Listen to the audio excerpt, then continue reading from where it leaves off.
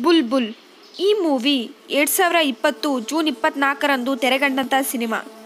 ಈ ಮೂವಿನ ಅನುಷ್ಕಾ ಶರ್ಮಾ ಅವರು ಡೈರೆಕ್ಷನ್ ಮಾಡಿದ್ದಾರೆ. ಬನ್ನಿ ಫ್ರೆಂಡ್ಸ್, ಈ ಮೂವಿ ಕನ್ನಡದಲ್ಲಿ ವಿವರಣೆ ನೋಡೋಣ. ಎಲ್ಲ ವೀಕ್ಷಕರಿಗೂ ನಮ್ಮ ಅಚ್ಚರಿ ಕನ್ನಡ ಚಾನಲ್ಗೆ ಸ್ವಾಗತ. ಮೂವಿ ಶುರುವಾದಾಗ ನಾವು ಬುಲ್ಬುಲ್ ಅನ್ನೋ ಪುಟ್ಟ ಹುಡುಗಿಗೆ ಬಾಲ್ಯ ವಿವಾಹ ಮಾಡೋದನ್ನ ನೋಡ್ತೀವಿ. ಆ ಹುಡುಗಿ ಇನ್ನೂ ಬೆಳೆದೇ ಇರಲ್ಲ. ಆಗಲೇ ಕೂಡ ಅವಳಿಗೆ ಮದುವೆ ಮಾಡ್ತಿರ್ತಾರೆ.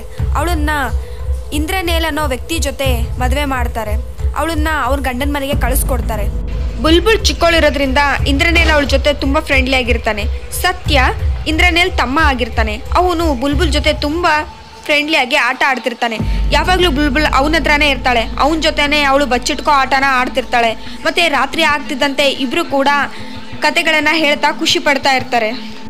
ದಿನಗಳು ಕಳೆಯುತ್ತೆ. ಬುಲ್ಬುಲ್ ದೊಡ್ಡವಳಾಗ್ತಾಳೆ ಈಗ ಅವಳಿಗೆ ಸತ್ಯನ ಮೇಲೆ ಪ್ರೇಮ ಹುಟ್ಟೋಕೆ ಶುರು ಆಗುತ್ತೆ ಅವಳು ಅವಳನ್ನ ಪ್ರೀತಿಸೋಕೆ ಶುರು ಮಾಡ್ತಾಳೆ. ಆ ಮನೆ ಚಿಕ್ಕ ಸೊಸೆಯಾದ ಬಿನೋದಿನಿಗೆ ಬುಲ್ಬುಲ್ ಅಂದರೆ ಇಷ್ಟ ಇರಲ್ಲ. ಯಾಕಂದರೆ ಅವಳು ಈಗ ಚಿಕ್ಕ ಸೊಸೆ ಆಗ್ತಾಳೆ. ಅವಳು ತನ್ಗಿಂತ ಚಿಕ್ಕವಳಿರೋ ಬುಲ್ಬುಲ್ಗೆ ತುಂಬ ಗೌರವ ಕೊಡಬೇಕಾಗತ್ತೆ. ಈ ಮನೆ ಆಸ್ತಿ ಅಂತಸ್ ಎಲ್ಲನೂ ಕೂಡ ಬುಲ್ಬುಲ್ಗೆ ಸೇರುತ್ತೆ ಅಂತ ಬಿನೋದಿನಿಗೆ ಇಷ್ಟ ಇರಲ್ಲ. ಇನ್ನೊಂದು ಅವಳ ಗಂಡ ಮಹೇಂದ್ರ ಹುಚ್ಚ ಇರ್ತಾನೆ, ಅವನು ಸರಿಯಾಗಿ ಇರಲ್ಲ. ಆದ್ರಿಂದ ಬಿನೋದಿಗೆ ತನ್ನ ಗಂಡನ ಪ್ರೀತಿನೂ ಸಿಗ್ತಿರಲ್ಲ. ಇದ್ರ ಸಲುವಾಗೂ ಕೂಡ ಬುಲ್ಬುಲ್ ಮೇಲೆ ತುಂಬಾ ಕೋಪ ಇರುತ್ತೆ. ಯಾಕಂದ್ರೆ ಅವಳ ಗಂಡ ಇಂದ್ರನೇಲ್ ಅವಳನ್ನ ತುಂಬಾ ಪ್ರೀತಿಸ್ತಿರ್ತಾನೆ. ಇದರಿಂದ ವಿನೋದಿನಿಗೆ ಸಹಿಸೋದಾಗ್ತಿರಲ್ಲ. ಹೇಗಾದ್ರೂ ಮಾಡಿ ತನ್ನ ಕುತಂತ್ರ ಬುದ್ಧಿಯಿಂದಾದ್ರೂ ಅವಳು ಬುಲ್ಬುಲ್ ಜೀವನನ ಹಾಳು ಮಾಡಬೇಕು ಅಂತ ಯೋಚನೆ ಮಾಡ್ತಿರ್ತಾಳೆ. ಆಗ ಅವಳಿಗೆ ಸಿಗೋದೆ ಅವಳು ಪ್ರೀತಿ ವಿಷಯ. ಇದನ್ನು ಹೇಗಾದರೂ ಮಾಡಿ ಅವಳು ಅವನ ಗಂಡ ಇಂದ್ರನೇಲ್ ಮುಂದೆ ಹೇಳಬೇಕು ಅಂತ ಪ್ರಯತ್ನ ಪಡ್ತಾಳೆ. ಇದನ್ನು ಹೋಗಿ ಇಂದ್ರನೇಲ್ ಮುಂದೂ ಹೇಳ್ತಾಳೆ. ಇಂದ್ರನಲ್ಗೆ ಬುಲ್ಬುಲ್ ಮೇಲೆ ತುಂಬ ಪ್ರೀತಿ ಇರುತ್ತೆ. ಅವನು ಅವಳು ಬಿಟ್ಟು ಇರ್ತಿರಲ್ಲ. ಆದರೆ ಬಿನೋದಿನಿಗೆ ಇದೇ ಒಂದು ಒಳ್ಳೆ ಉಪಾಯ ಆಗತ್ತೆ. ಅವಳು ಅವಳು ಗಂಡ ಇಂದ್ರನೇಲ್ ಮುಂದೆ ಹೋಗಿ ಹೇಳ್ತಾಳೆ ನಿನ್ನ ಹೆಂಡತಿ ಬುಲ್ಬುಲ್ ತುಂಬ ಕೆಟ್ಟಿದ್ದಾಳೆ. ಅವಳು ನಿನ್ನ ತಮ್ಮ ಸತ್ಯನ ಜೊತೆ ಇರ್ತಾಳೆ. ಅವನನ್ನು ಪ್ರೀತಿಸೋಕೆ ಶುರು ಮಾಡಿದಾಳೆ ಅಂತ ವಿವರಣೆ ಮಾಡ್ತಾಳೆ. ಅವನು ಅವಳನ್ನ ಗುಟ್ಟಾಗಿ ಗಮನ ಕೊಡೋಕೆ ಶುರು ಮಾಡ್ತಾನೆ. ಮತ್ತು ತನ್ನ ತಮ್ಮ ಸತ್ಯನ ಲಂಡನ್ಗೆ ಓದೋಕಂತ ಕಳಿಸ್ತಾನೆ. ಆದರೆ ಅದು ಬುಲ್ಬುಲ್ಗೆ ಇಷ್ಟನೇ ಇರಲ್ಲ. ಅವಳ ಹೃದಯ ಒಡೆದೋಗ್ಬಿಡುತ್ತೆ. ಅವಳು ಆವಾಗಿನಿಂದ ಅಳುವೋಕೆ ಶುರು ಮಾಡ್ತಾಳೆ. ಸತ್ಯನಿಗೋಸ್ಕರ ಕಾಯ್ತಾ ಕೂಡ್ತಾಳೆ. ಅವನು ಯಾವಾಗ ಬರ್ತಾನೆ, ಯಾವಾಗ ಅವನ್ನ ಮಾತಾಡಿಸ್ಲಿ ಅಂತ. ಆದರೆ ಬುಲ್ಬುಲ್ ತನ್ನೆಲ್ಲ ಪ್ರೀತಿ ವಿಷಯನ ಒಂದು ಪುಸ್ತಕದಲ್ಲಿ ಬರೆದಿಟ್ಟಿರ್ತಾಳೆ. ಅದನ್ನು ಅವಳು ಹರಿದಾಕಿ ಸುಟ್ಟಾಕ್ಬಿಡ್ತಾಳೆ. ಇದನ್ನು ಅವಳು ಗಂಡ ಇಂದ್ರನೇಲಿ ನೋಡ್ತಾನೆ. ಅವಳು ನೋಡಿ ಹೊಲೆಯಲ್ಲಿ ಏನು ಹುರಿತಿದೆ ಅಂತ ಬಂದು ನೋಡಿದಾಗ ಅಲ್ಲಿ ಒಂದು ಪೇಪರಲ್ಲಿ ಅವನು ಅವಳು ತಮ್ಮಂದ ಹೆಸರು ನೋಡಿ ಅವನಿಗೆ ತುಂಬ ಕೋಪ ಬರುತ್ತೆ. ಆ ರಾತ್ರಿ ಅವನು ಬುಲ್ಬುಲ್ನ ಬಾಸುಂಡೆ ಬರೋ ಥರ ಹೊಡಿತಾನೆ. ಅವಳ ಕಾಲ್ಗೆ ತನ್ನ ಒಂದು ಕಬ್ಬಿಣದ ಆಯುಧ ತಗೊಂಡು ತುಂಬ ನೋವಾಗೋ ಥರ ಮೈಗೆಲ್ಲ ಹೊಡಿತಾನೆ. ಅವಳು ಕಾಲ್ಗಂತೂ ತುಂಬ ಹೊಡಿತಾನೆ. ಎಷ್ಟಂದರೆ ಅವಳಿಗೆ ನಡೆಕೆ ಆಗಲಾರ್ದಷ್ಟು. ಡಾಕ್ಟರ್ ಸುದೀಪ್ ಅನ್ನೋನು ಬುಲ್ಬುಲ್ನ ಟ್ರೀಟ್ಮೆಂಟ್ ಮಾಡ್ತಾನೆ. ಇನ್ನೊಂದು ಕಡೆ ಬಿನೋದಿನಿ, ಅವಳ ಗಂಡ ಇಂದ್ರನೆಲ್ಲ ತನ್ನ ವಶದಲ್ಲಿ ಇಟ್ಕೋಕೆ ಪ್ರಯತ್ನ ಪಡ್ತಾಳೆ. ಆದರೆ ಆಗಲ್ಲ. ಯಾಕಂದ್ರೆ ಇಂದ್ರನಿಲ್ ಬುಲ್ಬುಲ್ನ ತುಂಬ ಪ್ರೀತಿಸ್ತಿರ್ತಾನೆ. ಇದನ್ನೆಲ್ಲ ನೋಡೋಕ್ಕಾಗದೆ ಆ ಮನೆ ಬಿಟ್ಟು ಹೋಗ್ತಾನೆ. ಅದಾದ ಕೆಲವು ದಿನದಲ್ಲಿ ಅವ್ರ ತಮ್ಮ ಮಹೇಂದ್ರನ ಸಾವು ಕೂಡ ಆಗುತ್ತೆ. ಈ ಕೊಲೆನ ಆ ಊರಲ್ಲಿರೋ ಒಬ್ಳು ಮಾಟಗಾರ್ತಿ ಮಾಡಿದಾಳಂತಾನೆ ಹೇಳ್ತಾರೆ. ಬಿನೋದಿನಿ ತನ್ನ ಗಂಡ ಸತ್ತ ನೋವಿನಲ್ಲಿ ಹಾಗೆ ಎದ್ಬಿಡ್ತಾಳೆ. ಐದು ವರ್ಷ ಕಳೆಯುತ್ತೆ. ಈಗ ಸತ್ಯ ತನ್ನ ಓದ್ನ ಮುಗಿಸಿ ಊರಿಗೆ ಬರ್ತಾನೆ. ಅವನು ಊರಿನಾಗೆ ಬರ್ತಾ ಇರುವಾಗ ಅಲ್ಲಿ ಅವನು ಹೇಳ್ತಾನೆ, ಈ ಊರಲ್ಲಿ ಒಂದು ಭೂತ ಬಂದಿದೆ ಅಂತ. ಆಗ ಅದನ್ನ ಕೇಳಿಸ್ಕೊಂಡು ಸತ್ಯ ನಗೋಕೆ ಶುರು ಮಾಡ್ತಾನೆ, ಈ ಕಾಲದಲ್ಲೂ ನೀವು ಈ ಭೂತ ದೆವ್ವ ಅಂತ ನಂಬ್ತೀರಾ? ಅಂತ. ಆಗ ಅವ್ರಿಗೆ ಸಾರೋಟ್ಗೆ ಒಂದು ಅಡ್ಡಿ ಆಗುತ್ತೆ. ಆಗ ಅವನು ಇಳಿದು ನೋಡಿದಾಗ ಅಲ್ಲಿ ಯಾರೂ ಇರಲ್ಲ. ಈಗ ಸತ್ಯ ತನ್ನ ಮನೆಗೆ ಹೋಗಿ ತಲುಪ್ತಾನೆ. ಅವನಿಗೆ ತುಂಬ ಸಂತೋಷ ಆಗುತ್ತೆ. ಇನ್ನೊಂದು ಕಡೆ ಬಿನೋದಿನಿ ಸನ್ಯಾಸಿನಿ ಆಗಿರ್ತಾಳೆ ಅವಳು ಎಲ್ಲನೂ ಬದಲಾಗಿರ್ತಾಳೆ. ಅವಳು ಒಂದು ಆಶ್ರಮಕ್ಕೆ ಸೇರಿ ಅಲ್ಲೇ ತನ್ನ ಎಲ್ಲ ಕಾರ್ಯಗಳನ್ನು ಮಾಡ್ತಿರ್ತಾಳೆ. ಇಡೀ ಮನೆ ಜವಾಬ್ದಾರಿನ ಬುಲ್ಬುಲ್ ಕೈಗೆ ಹೋಯಿಸಿರ್ತಾಳೆ ಬುಲ್ಬುಲ್ ಅಂತೂ ಈಗ ರಾಣಿ ಥರ ಇರ್ತಾಳೆ. ಅವಳಿಗೆ ಯಾರು ಅಡ್ಡಿ ಆತಂಕನೂ ಇರಲ್ಲ. ಅವಳು ತುಂಬ ಖುಷಿಯಿಂದ ತನ್ನ ಜೀವನನ ನಡೆಸ್ತಿರ್ತಾಳೆ. ಆ ಸಮಯದಲ್ಲಿ ಸತ್ಯನೂ ಬಂದು ಅವಳ ಜೊತೆ ಮಾತುಕತೆ ಆಡ್ತಾನೆ. ಅವಳ ಜೊತೆ ಮಾತಾಡಿ ಸಂತೋಷ ಪಡ್ತಾನೆ. ಆದರೆ ಸತ್ಯಗೆ ಬುಲ್ಬುಲ್ ಜೊತೆ ಸುದೀಪ್ ಇರೋದು ಇಷ್ಟ ಆಗ್ತಿರಲ್ಲ. ಅವಳು ಅವನ ಜೊತೆ ತುಂಬ ಆತ್ಮೀಯವಾಗಿರೋದು ಅವ್ನಿಗೆ ಒಂದಿಷ್ಟೂ ಇಷ್ಟ ಆಗ್ತಿರಲ್ಲ. ಅವನಿಗೆ ತುಂಬ ಅಸೂಯೆ ಆಗ್ತಿರುತ್ತೆ. ಅವತ್ತು ರಾತ್ರಿ ಅವರೆಲ್ಲರೂ ಸೇರಿ ಒಂದು ಗುಂಪು ಕಟ್ಕೊಂಡು ಆ ಮಾಟಗಾರ್ತಿನ ಹುಡ್ಕೊಂಡು ಹೋಗ್ತಾರೆ. ಸತ್ಯ ತನ್ನ ಕೈಯಲ್ಲಿ ಗನ್ ಇಟ್ಕೊಂಡು ಅದನ್ನು ಕೊಂದು ಹಾಕಬೇಕು ಅಂತ ಹೋಗ್ತಾ ಇರ್ತಾನೆ. ಇನ್ನೊಂದು ಕಡೆ ಸುದೀಪಿಗೆ ಯಾರೋ ಆರ್ಚಿರೋ ಸೌಂಡ್ ಕೇಳಿಸುತ್ತೆ. ಅವನು ಅದನ್ನು ಹಿಂಬಾಲಿಸ್ಕೊಂಡು ಹೋಗ್ತಾನೆ. ಅಲ್ಲಿ ಒಂದು ನೆರಳು ಕಾಣಿಸುತ್ತೆ. ಅವನು ಆ ನೆರಳ ಹಿಂಬಾಲಿಸ್ಕೊಂಡು ಹೋದಾಗ ಅಲ್ಲಿ ಯಾರೂ ಸಹ ಇರಲ್ಲ. ಅವನಿಗೆ ತುಂಬ ಗಾಬರಿ ಆಗುತ್ತೆ. ಅದು ಮಾಯ ಆಗಿದ್ದ ನೋಡಿ. ಶಬ್ದ ಕೇಳಿ ಅಲ್ಲಿ ಸತ್ಯನೂ ಕೂಡ ಬರ್ತಾನೆ. ಅವನಲ್ಲಿ ಬಂದು ನೋಡಿದಾಗ ಮಾಸ್ಟರ್ ಜೀನ ಯಾರೋ ಕೊಲೆ ಮಾಡಿರ್ತಾರೆ. ಅವನ ದೇಹನ ಯಾರೋ ಮರಕ್ಕೆ ನೇತಾಕಿರ್ತಾರೆ. ಈಗ ಅವ್ರಿಗೆ ತುಂಬ ಗಾಬರಿನೂ ಆಗುತ್ತೆ. ಸತ್ಯಗೆ ತುಂಬ ಅನುಮಾನ ಬರೋಕ್ಕೆ ಶುರುವಾಗುತ್ತೆ. ಅವನು ಬೆಳಗ್ಗೆನೆ ಆ ಕೊಲೆ ನಡೆದ ಜಾಗಕ್ಕೆ ಹೋಗ್ತಾನೆ. ಅಲ್ಲಿ ಯಾರೋ ಕೈ ಗುರುತಿರುತ್ತೆ. ಅವನಿಗೆ ತುಂಬ ಅನುಮಾನ ಬರುತ್ತೆ. ಹೇಗಿದ್ರೂ ಇಲ್ಲೇ ಸುದೀಪ್ ಡಾಕ್ಟರ್ ಅವರು ಇರ್ತಾರೆ. ಅವನೇ ಕೊಲೆ ಮಾಡಿರ್ಬೋದಾ ಅಂತ ಅವನು ಬುಲ್ಬುಲ್ ಹತ್ರ ಹೇಳ್ತಾನೆ, ಆದರೆ ಬುಲ್ಬುಲ್ ಅದನ್ನು ನಂಬಲ್ಲ. ಅವಳು ಆ ಕೊಲೆನ, ಆ ಊರಿನ ಮಾಟಗಾರ್ತಿನೇ ಮಾಡಿದಾಳೆ ಅಂತ ಹೇಳ್ತಾಳೆ. ಹೌದು, ಚಿಕ್ಕವಳಿದ್ದಾಗ ಸತ್ಯ ಅವಳ ಮುಂದೆ ಅದ್ರ ಬಗ್ಗೆನೇ ಕತೆ ಹೇಳ್ತಿದ್ದ. ಈಗ ಸತ್ಯಗೆ ಅನುಮಾನ ತುಂಬ ಶುರುವಾಗುತ್ತೆ. ಸುದೀಪೆ ಯಾಕೆ ಈ ಕೊಲೆಗಳನ್ನ ಮಾಡ್ದಿರ್ಬೋದು ಅಂತ ಅನ್ಕೋತಿರ್ತಾನೆ. ಈ ಸಮಯದಲ್ಲಿ ಅವ್ರಿಗೊಂದು ಸುದ್ದಿ ಬರುತ್ತೆ. ಆ ಊರಿನ ಒಬ್ಬ ಪೊಲೀಸ್ನ ಡೆತ್ ಆಗುತ್ತೆ. ಈಗ ಅವನ್ ಸಾಕ್ಷಿ ಅಂತ ಒಂದು ಹುಡುಗಿ ಇರ್ತಾಳೆ. ಆ ಹುಡುಗಿಗೆ ಪೊಲೀಸ್ ಆಫೀಸರ್ನ ಕೊಂದಿದ್ದು ಯಾರು ಅಂತ ಕೇಳಿದಾಗ ಆ ಹುಡುಗಿ, ಪೊಲೀಸ್ನ ಕೊಂದಿದ್ದು ಬೇರೆ ಯಾರು ಅಲ್ಲ, ಸಾಕ್ಷಾತ್ ಕಾಳಿ ಮಾತೆ ಅಂತ ಹೇಳ್ತಾಳೆ. ಆದರೆ ಇದು ನಂಬಿಕೆ ಬರುವಂತಹ ಕೇಸ್ ಆಗೇ ಇರಲ್ಲ. ಸಬ್ ಇನ್ಸ್ಪೆಕ್ಟರು ಸತ್ಯನ ಮುಂದೆ ಬಂದು ಈ ವಿಚಾರ ಹೇಳಿದಾಗ ಸತ್ಯಗೆ ಇದಕ್ಕೆ ನಂಬಿಕೆನೇ ಬರಲ್ಲ.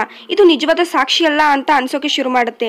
ಅವನಿಗೆ ಇದನ್ನ ಯಾಕೆ ಸುದೀಪೆ ಮಾಡಿರ್ಬೋದು ಅಂತ ಪದೇ ಪದೇ ಅವನು ಬುಲ್ಬುಲ್ ಮುಂದೆ ಹೇಳ್ತಿರ್ತಾನೆ. ಬುಲ್ಬುಲ್ ಅದನ್ನ ನಂಬ್ತಾನೆ ಇರಲ್ಲ.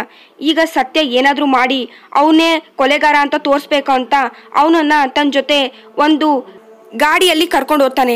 ಆದರೆ ಆ ಸಮಯದಲ್ಲಿ ಒಮ್ಮೆಂದೊಮ್ಮೆ ಗಾಳಿ ನಿಂತು ಬಿಡುತ್ತೆ ಅವನಿಗೆ ಅನುಮಾನ ಬಂದು ಅವನು ಕೆಳಗಿಳಿದು ನೋಡಿದಾಗ ಅಲ್ಲಿ ಅದೇ ಕುದುರೆ ಚಾಲಕನ ಸಾವಾಗಿರುತ್ತೆ. ಇದನ್ನ ನೋಡ್ಬಿಟ್ಟು ಈಗಂತೂ ಸುದೀಪ್ ಅಂತೂ ಅಲ್ಲೇ ಇದ್ದಾನೆ.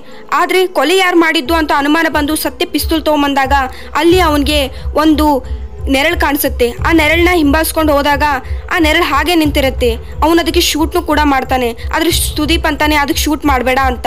ಅವನಲ್ಲಿ ಅದನ್ನು ದಿಟ್ಟಿಸಿ ನೋಡಿದಾಗ ಅದು ಬೇರೆ ಯಾರೂ ಆಗಿರಲ್ಲ. ಸ್ವಯಂ ಬುಲ್ಬುಲೆ ಆಗಿರ್ತಾಳೆ.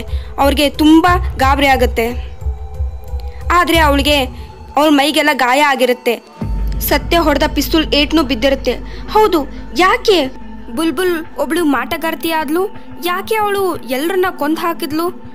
ಅವಳಿಗೆ ಇಚ್ಛೆ ಏನಿತ್ತು? ಇದ್ರ ಹಿಂದೆ ಒಂದು ನಿಗಡ ಸತ್ಯನೇ ಅಡಗಿರುತ್ತೆ. ಯಾವಾಗ ಇಂದ್ರನೇಲ್ ಬುಲ್ಬುಲ್ನ ತುಂಬಾ ಕೋಪ ಮಾಡ್ಕೊಂಡು ಹೊಡಿತಾನೋ ಆ ಸಮಯದಲ್ಲಿ ಅವಳಿಗೆ ತುಂಬಾ ಗಾಯ ಆಗಿರುತ್ತೆ. ಅವಳನ್ನ ಸುದೀಪ್ ಟ್ರೀಟ್ಮೆಂಟ್ ಕೊಟ್ಟಿರ್ತಾನೆ. ಆದರೆ ಆ ಟ್ರೀಟ್ಮೆಂಟ್ ಕೊಟ್ಟ ರಾತ್ರಿಯಲ್ಲಿ ಅವ್ರ ತಮ್ಮ ಮಹೇಂದ್ರ ಅಲ್ಲಿಗೆ ಬಂದಿರ್ತಾನೆ. ಮಹೇಂದ್ರ ಅವಳ ಜೊತೆ ಹುಚ್ಚುಚ್ಚಾಗಿ ಆಟ ಆಡೋಕೆ ಶುರು ಮಾಡ್ತಾನೆ. ಆದರೆ ಅವನು ಹುಚ್ಚ ಆಗಿರೋದ್ರಿಂದ ಅವಳಿಗೆ ಗಾಯ ಆಗಿದೆ ಅನ್ನೋದು ಯೋಚನೆ ಮಾಡದೆ ಅವಳ ಮೇಲೆ ಅವನು ಬಲತ್ಕಾರ ಮಾಡಿಬಿಡ್ತಾನೆ. ಇದರಿಂದ ಅವಳಿಗೆ ತುಂಬ ನೋವಾಗುತ್ತೆ. ಅವಳು ಅಲ್ಲೇ ಸತ್ತೋಗ್ಬಿಡ್ತಾಳೆ. ಈ ವಿಚಾರ ಬಿನೋದಿನಿಗೂ ಗೊತ್ತಿರುತ್ತೆ. ಆದರೆ ಬಿನೋದಿನಿ ತನ್ನ ಮಾನ ಮರ್ಯಾದೆ ಹೋಗಬಾರ್ದು ಅಂತ ಹಾಗೆ ಇರ್ತಾಳೆ. ಒಂದು ಹೆಣ್ಣಾಗಿ ಅವಳು ಬುಲ್ಬುಲ್ ಜೀವನಕ್ಕೆ ನ್ಯಾಯನೇ ಕೊಡಲ್ಲ. ಆದರೆ ಪಾಪ ಬುಲ್ಬುಲ್ ಅದೇ ಸಮಯದಲ್ಲಿ ಸತ್ತು ಹೋಗ್ತಾಳೆ. ಮತ್ತೆ ಡಾಕ್ಟರ್ ಸುದೀಪ್ಗೂ ಗೊತ್ತಿರುತ್ತೆ ಅವಳಿಗೆ ಬಲತ್ಕಾರ ಆಗಿದೆ ಅಂತ. ಅವನು ಈ ವಿಚಾರ ತಿಳ್ಕೊಂಡಿರ್ತಾನೆ. ಅವಳು ಅದ್ರ ಜೊತೆ ಟ್ರೀಟ್ಮೆಂಟು ಕೊಟ್ಟಿರ್ತಾನೆ. ಆದರೆ ಕಾಳಿ ಮಾತೆ ದಯದಿಂದ ಮತ್ತೆ ಅವಳು ಜೀವಂತವಾಗಿ ಬದುಕಿರ್ತಾಳೆ.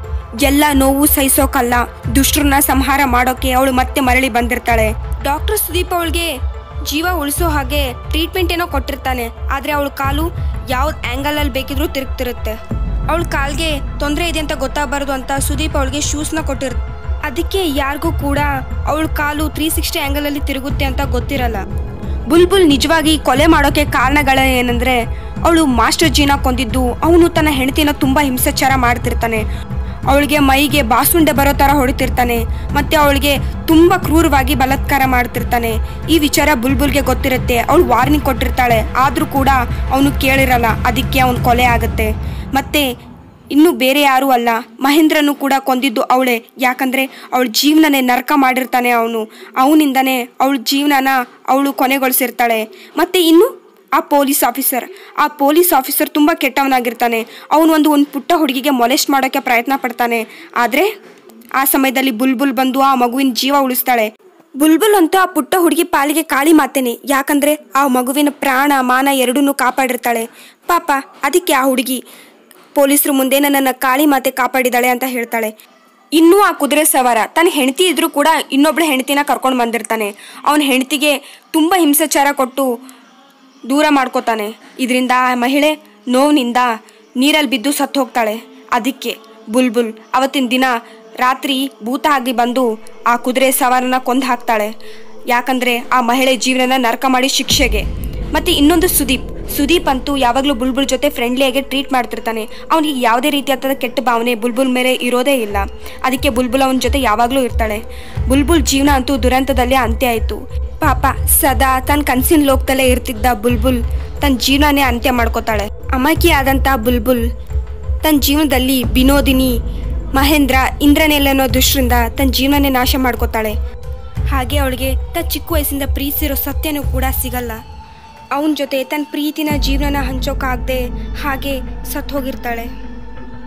ಆದರೆ ಅವಳು ಕಾಳಿ ದಯದಿಂದ ಮತ್ತೆ ಹುಟ್ಟಿ ಬಂದು ಜನರ ರಕ್ಷಣೆ ಮಾಡೋಕ್ಕೆ ಶುರು ಮಾಡ್ತಾಳೆ. ಏನು ಗೊತ್ತಿರದ ಸತ್ಯ ಅವನು ಬೆಂಕಿ ಹಚ್ಚೋಕೆ ಶುರು ಮಾಡ್ತಾನೆ, ಅದನ್ನ ಸುದೀಪ್ ತಡಿತಾನೆ. ಆದರೆ ಮರಗಳಿಗೆಲ್ಲ ಬೆಂಕಿ ಆವರಿಸಿರೋ ಕಾರಣ ಬುಲ್ಬುಲ್ ಆ ಎಲ್ಲ ಬೆಂಕಿಯ ನಡುವೆನೇ ಅಂತ್ಯಾಗಿ ಹೋಗ್ತಾಳೆ. ಅದರೊಳಗೆ ಅವಳು ಕೊನೆಯಾಗಿ ಹೋಗ್ತಾಳೆ. ಈ ಘಟನೆ ಆದ ಒಂದು ವರ್ಷದಲ್ಲಿ ಮತ್ತೆ ಇಂದ್ರನೇಲ್ ಆ ಮನೆಗೆ ಬರ್ತಾನೆ. ಆ ಮನೆನ ಅವನು ಮತ್ತೆ ಕೊಂಡ್ಕೋತಾನೆ. ಎಲ್ಲ ಕಡೆನೂ ಗರಿಕೆಗಳು ಆವರಿಸಿರುತ್ತೆ. ಅವನ ಮನೆಯಲ್ಲಿ ಎಲ್ಲ ಬತ್ತಿ ಹೋದಂತೆ ಕಾಣಿಸ್ತಿರುತ್ತೆ. ಇಂದ್ರನೇಲ್ ಏನು ತನ್ನ ಜೀವನದಲ್ಲಿ ಸಾಧಿಸ್ದ ತನ್ನ ತಮ್ಮನ ಕಳ್ಕೊಂಡ, ಬುಲ್ಬುಲ್ ಕಳ್ಕೊಂಡ, ಮತ್ತೆ ವಿನೋದಿನಿ, ಅವಳಂತೂ ಸನ್ಯಾಸಿನಿ. ಅವಳ ಆಸ್ತಿನೂ ಕೂಡ ಪಡೆದೆ ಸನ್ಯಾಸಿನಿ ಆದ್ಲು. ಇಂದ್ರನೆಲ್ ತನ್ನ ತಮ್ಮ ಸತ್ಯನಂತೂ ಲಂಡನ್ಗೆ ಓದೋಕೆ ಕಳಿಸ್ತಾನೆ. ಈ ಮೂವಿ ಕೈಮಾಸಲ್ಲಿ ನಾವು ನೋಡೋದು ಏನು ಅಂದರೆ, ಅವನಿಗೆ ದಿನ ರಾತ್ರಿ ಮಲಗಿದಾಗ ಬುಲ್ಬುಲ್ ಹಾಡೋ ಸಾಂಗ್ ಕೇಳಿಸ್ತಿರುತ್ತೆ. ಅವನು ಎದ್ದು ನೋಡಿದಾಗ ಕೊನೆಯಲ್ಲಿ ಅವಳ ರೂಪ ಬಂದ ಹಾಗೆ ಅವನಿಗೆ ಕಾಣಿಸುತ್ತೆ. ಈ ಮೂವಿ ಇಲ್ಲಿಗೆ ಎಂಡ್ ಆಗುತ್ತೆ.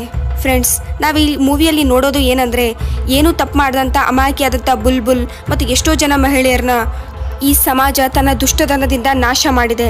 ನಾವು ಜೀವನದಲ್ಲಿ ತಿಳ್ಕೊಬೇಕು ಏನಂದರೆ ನಾವು ತಾಯಿ ಕಾಳಿ ಮಾತೆ ಥರ, ದುರ್ಗಾ ಮಾತೆ ಥರ ಪ್ರತಿಯೊಂದು ಮಹಿಳೆಯನ್ನ ಗೌರವಿಸಬೇಕು. ಅವಳಿಗೆ ತನ್ನದೇ ಆದಂಥ ಒಂದು ಅಂತಸ್ನ ಕೊಡಬೇಕು. ರೆಸ್ಪೆಕ್ಟ್ ವುಮೆನ್ಸ್ ಫ್ರೆಂಡ್ಸ್ ಈ ಮೂವಿ ಥರ ಇನ್ನೊಂದು ಹೊಸ ಮೂವಿಯೊಂದಿಗೆ ಭೇಟಿಯಾಗೋಣ. Thanks for watching